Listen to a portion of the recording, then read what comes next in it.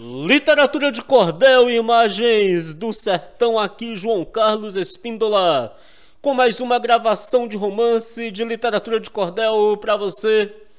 E dessa vez, meu amigo, minha amiga, nós vamos gravar o cordel de número 419. Mas antes eu quero avisar o meu amigo Francisco Gomes que nós ainda não encontramos, meu amigo, seu cordel, que fala sobre a noiva prisioneira do, do Castelo das, das Visões. Inclusive, nós procuramos esse cordel mais uma vez. O meu filho vai continuar procurando, mas infelizmente nós ainda não encontramos, beleza? Com esse cordel aqui, nós vamos gravar o cordel de número 419, de um total de mil romances de literatura de cordel que nós pretendemos gravar aqui no canal Imagens do Sertão. E se você, meu amigo, minha amiga, ainda não é inscrito no canal Literatura de Cordel Imagens do Sertão, eu peço a vocês que procure aí o botão inscrever-se e deixe-nos a sua inscrição. Eu também peço a você que compartilhe o canal com aquelas pessoas que você sabe que gostam de literatura de cordel, pelo WhatsApp, pelo Facebook, tudo isso ajuda muito, beleza?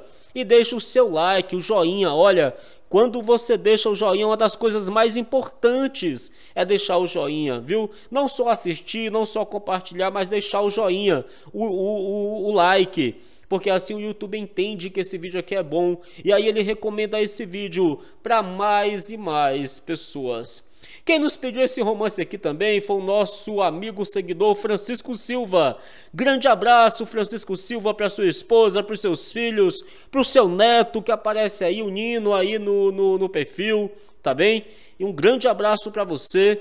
Ele pediu um romance da mulher que vendeu o marido por R$ 1,99. É isso mesmo. A mulher que vendeu o marido por R$ 1,99. Nós encontramos este romance e vamos ler aqui agora para vocês. Olha só. A mulher que vendeu o marido por R$ 1,99. Observe que a mulher está aqui, olha, a mulher está aqui, tem um mercado e a mulher vai lá vender o marido por R$ 1,99. Vamos lá, pessoal, então, ler esse romance? Vamos ler aqui.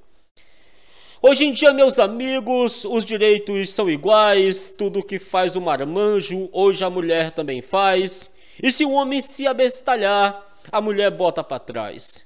Acabou-se aquele tempo em que a mulher com presteza se fazia para o homem produto de cama e mesa.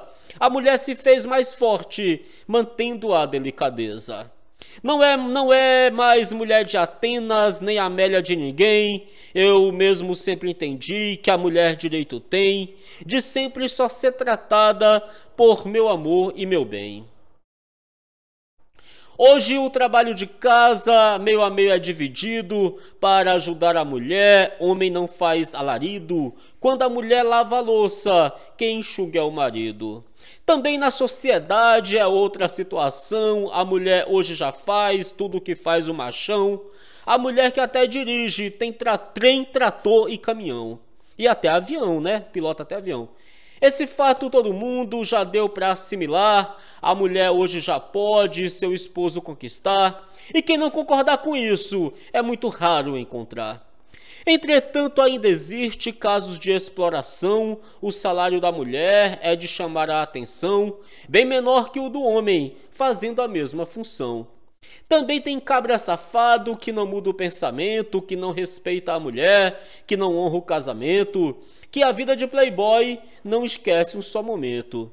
Era assim que Damião, o ex-marido de Coca, queria viver na cana sem, sentir copo, sem tirar o copo da boca, enquanto sua mulher em casa feito maluca. Cuidando de três meninos, lavando roupa e varrendo, feito uma negra de ferro, de fome o corpo tremendo, e o marido cachaceiro pelos botequins bebendo.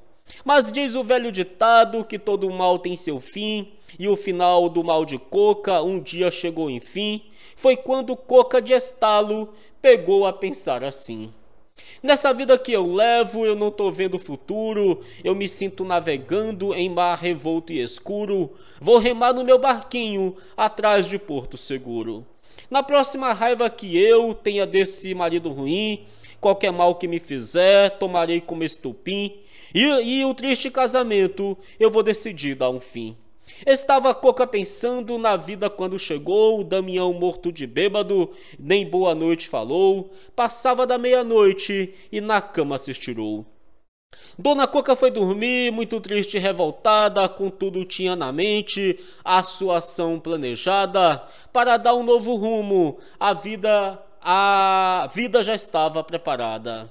De manhã, Coca acordou com a bra braguilha para trás, deu cinco murros na mesa e gritou: Ó oh, Satanás, eu vou te vender na feira, vou já fazer um cartaz. Pegou uma cartolina que ela havia escondido, escreveu nervosamente, com a raiva do bandido: Por R$1,99 estou vendendo o marido. Assim mostrou ter o sangue, sangue de Leila Diniz, Pagu Maria Bonita, de Anaíde Beiriz, de Brasileiras de Fibra, de Margarida e Elis. Pegou o marido bêbado do jeito pela abertura, da direção do mercado, ela saiu à procura de vender o seu marido, ia com muita secura. Ficou na feira de patos, no mais horrendo lugar, na conhecida UTI, e começou a gritar: Tô vendendo meu marido, quem de vocês quer comprar? Umas bêbadas que estavam estiradas pelo chão despertaram com os gritos e uma do cabelão perguntou para Dona Coca qual o preço do gatão. É 1,99 e não está vendo o cartaz, Dona Coca respondeu, e a bêbada disse o rapaz, tem uma cara simpática, acho até que vale mais. Damião estava quieto e de ressaca passado, com cordas nos pés e braços, numa cadeira amarrado. Também tinha um esparadrapo em sua boca colado. Começou a chegar gente, se formou a multidão em volta de Dona Coca e o marido Damião. Quando deu fé, logo logo encostou o camburão. Nisso um cabo da polícia do camburão foi descendo e perguntou abusado o que que tá acontecendo. Alguém disse a esta mulher o marido está vendendo. Do meio do povo disse um velho em tom de chacota: Esse carneiro já tem uma cara de meiota, não tem mulher que dê nele de dois reais uma nota. E de fato o cabra feio, desalinhado e barbudo, fedendo a cana e cigarro, com um jeito carrancudo, banguela um pouco careca para completar barrigudo. Nisso chegou uma velha que vinha com todo gás e disse para ela mesma, depois de ler o cartaz: Hoje eu tiro prejuízo com esse lindo rapaz. Disse a velha francamente: Eu estou achando pouco por R$1,99. Tome dois, nem quero o troco. Deixe-me levar para casa esse meu Chico Cuoco. Saiu a velha encherida, de braços com Damião, com Damião, a polícia prontamente dispersou a multidão, e Coca tirou por fim um peso do coração. Retornou Coca feliz para casa entoando hinos. A partir daquele dia teria novos destinos. Com os dois reais da venda, comprou, comprou de pão para os meninos. É isso aí. A mulher que vendeu o marido por R$1,99. Pessoal, deixa eu ver o autor do romance aqui. Pessoal, eu até peço desculpas, eu sempre falo o nome do autor no começo do cordel, mas o nome do autor é Jandurri, eu acredito que é um nome estrangeiro, ou é Jandurri, ou é Janduí Dantas, mas eu acho que é Jandurri porque tem um H. Jandurri Dantas é o nome do autor. A mulher que vendeu o marido por 1,99. Peço desculpas. Janduir Dantas. Todos os méritos aí. Janduir Dantas é o nome do autor. Até mais, pessoal. Valeu.